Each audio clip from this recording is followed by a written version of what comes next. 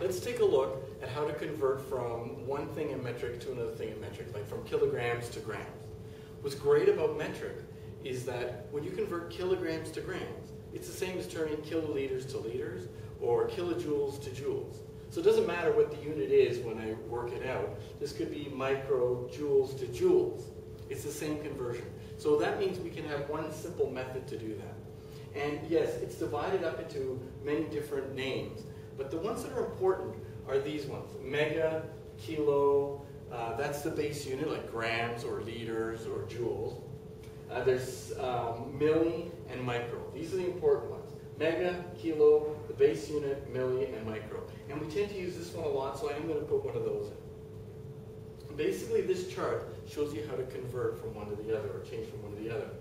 And the idea is if I'm going from this, from milli to kilo, I'm going up towards this direction, and this tells me up, I move the decimal to the left. If I'm going from kilograms to centigrams, I'm going from kilo to centi, centi, I'm going down this way, so down we go, the decimal goes to the right. Okay? And this tells you how many times the decimal goes. If you look, one, two, three is the next one. one, two, three is the next one. one, two, three is the next one. one, one, two, three is the next one. This is the extra one I put in here. And there are names for all these, but they don't get used much, so I don't have to worry about it. So the best way I think to learn this is to just try. Um, I'm going to turn 200 meters into kilometers. So meters, that's my base unit, right? The base unit is here, and I want to go to kilo. So I'm going one, two, three. The decimal is moving three to the left. So if I write the 200 here, I'm going to put some zeros here so I have room to move. The decimal is here. 200, the decimal is there, and I'm moving it three to the left. One, two, three. So my answer is going to be 0 0.2 uh, kilometers. 200 meters is 0.2 kilometers. Let's try another one. Kilograms to grams. Well, grams is the base unit. And I want to go from kilograms to grams. So I'm going to go one, two, three. I'm going down three to the right. So the decimal is there at the 50. So there's my 50, that's where the decimal is. And I'm moving to the right, so I'm going to give myself some zeros to work with. And kilograms to grams is one, two, three to the right. One, two, three. There's where it is. So it's going to equal five, one, two, three, four. One, two, three, four um, grams. So it's 50,000 grams. I've moved the decimal to the right. Let's look at microliters to liters. Micro to the base unit liters. So going up, so the decimal is going to move to the left. One, two, three, four, five, six. I got to move the decimal six to the left. Well, the decimal's right there at the end of the 4,000. And I'm moving it to the left. So I'm going to give myself some zeros because I'm working my way towards there and I don't want to run out.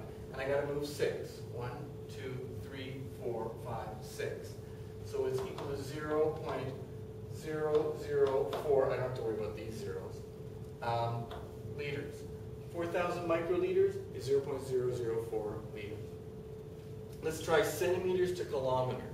Well, centi's that one that it's not going by three, but it's, it's one we use frequently, so let's do that. Centi to uh, kilo. So I'm going one, two, three, four, five. Five up to the left. So we got to move it to the left. So I'm starting there. I'm going to give myself again some extra zeros to work with. One, two, three, four, five. That's where my decimal is. Zero point zero zero zero zero zero zero two kilometers. 20 centimeters is 0.002, uh, 0.0002 kilometers.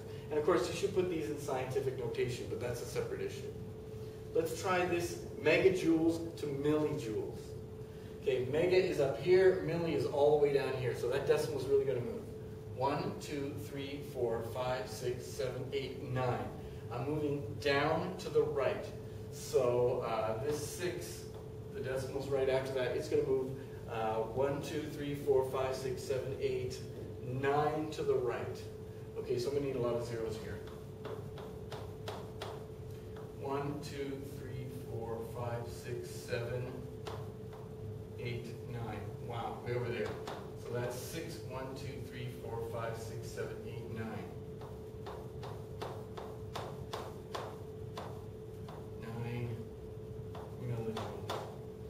wouldn't pr- probably want to do that in a question, but six megajoules is that many micro, uh, millijoules. So just try it. Remember, up, the decimal moves to the left, down, the decimal moves to the right. I hope you found this useful.